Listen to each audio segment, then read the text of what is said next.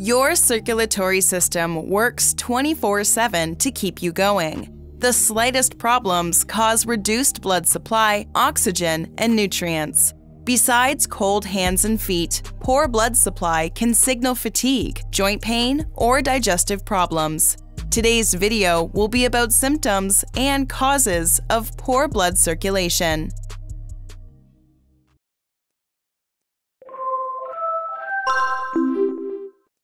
Let's begin with symptoms. Number 9. Digestive troubles. If you often experience digestive issues, poor blood circulation could be behind it. Just like other organs in the body, the digestive system needs healthy blood supply to function at its best. When this doesn't happen, you face digestive issues. Poor blood circulation can lead to fatty matter collecting along the lining of your blood vessels in your abdomen. This will result in problems like diarrhea, abdominal pain, constipation, and bloody stool.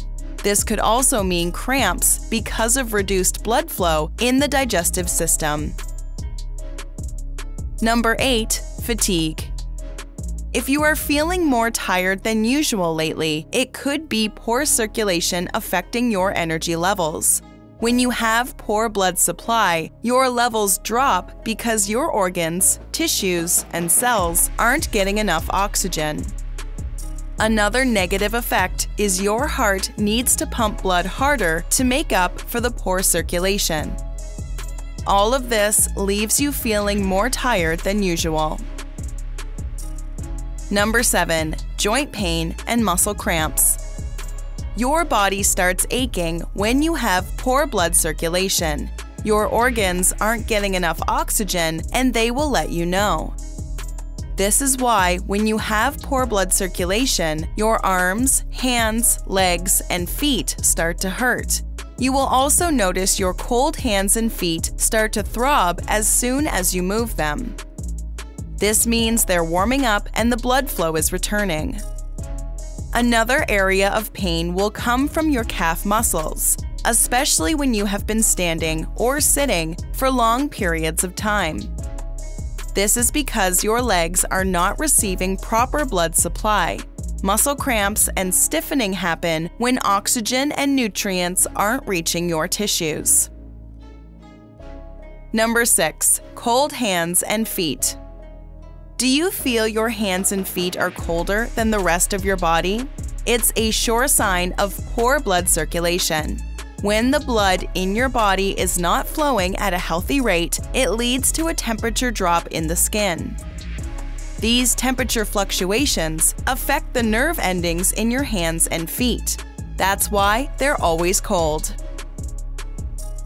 Number 5. Numbness and tingling. Numbness and tingling in your hands and feet are one of the most telling signs of poor blood circulation. You might also feel something pricking you, like pins and needles. All of these are caused by restriction in blood flow. This means a good amount of blood is not reaching them. As a result, you have numbness and tingling. Number 4. Changes in skin color. Changes in your skin for no reason could be due to poor circulation. It can make your skin look blue or pale. This happens because of insufficient blood reaching your tissues and making them appear blue or pale. And if there is any blood leaking from the capillaries, your skin might even appear purple. You will find these skin changes mostly around your nose, ears, lips, hands, and feet any discoloration of your skin should be mentioned to a health expert.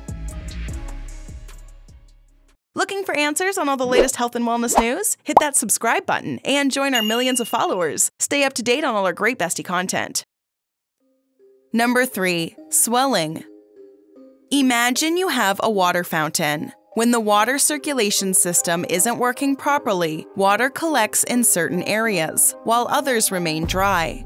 Something similar happens to your body when your circulatory system doesn't work. Fluids will accumulate in certain areas of the body, especially the legs, feet, and ankles. Swelling in your lower extremities results from poor circulation. There can be other reasons for swelling as well. Heart failure and blood collection in your lower body can cause this. Number 2. Leg ulcers. You should never ignore a leg ulcer as it is likely due to poor circulation. The body can't heal properly when it doesn't have a healthy circulatory system. This could result in ulcers, with the blood pooling in your leg veins and form ulcers swelling beneath the skin. Number 1. Cognitive problems. This one might surprise you. When we talk about poor blood circulation, we all think of pain, numbness, and swelling. But this can also affect the brain. Your brain, like all other organs, needs an adequate blood supply in order to perform well. When your brain doesn't get enough, it's unable to function. The lack of oxygen and nutrients can lead to memory loss, difficulty concentrating, and other cognitive issues. This is why experts say a healthy mind comes from a healthy body. Both are connected.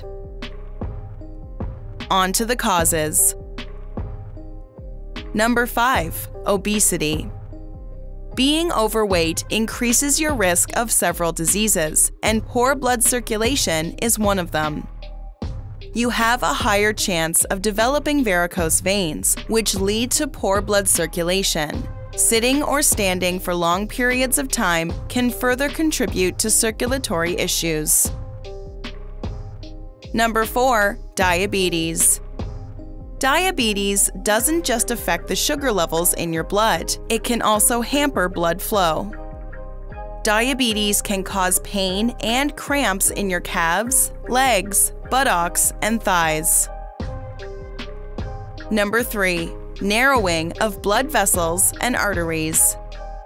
Poor blood circulation can result from diseases that cause narrowing of the blood vessels and arteries. One such disease causes smaller arteries in your toes and hands to constrict. This means less space for blood to flow smoothly. Another causes arteries to stiffen because of plaque buildup. As a result, you will have reduced or disrupted blood circulation. Number 2. Varicose veins. Enlarged veins that look like a web of spiders are varicose veins and can cause poor blood circulation. Varicose veins are usually found on the back of your legs.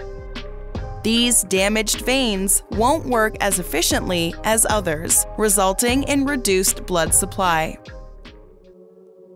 Number 1. Blood clot. One of the biggest reasons behind poor circulation is blood clotting. Depending upon their size, blood clots can block the flow. Most blood clots that develop in your legs and arms cause poor blood circulation. Blood clots should never be taken lightly. If one is able to reach other parts of your body, it can be very dangerous. It might even cause a stroke if it reaches your heart or brain. Poor blood circulation can affect many parts of the body, including the brain and heart. Here are some more ways you can take care of your heart and stay healthy. Watch. Four early signs of a heart attack women always miss.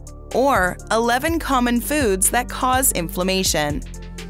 Go ahead and click one. Better yet, watch both and learn more about heart health. Do you have any signs of poor blood circulation? Let us know in the comments below.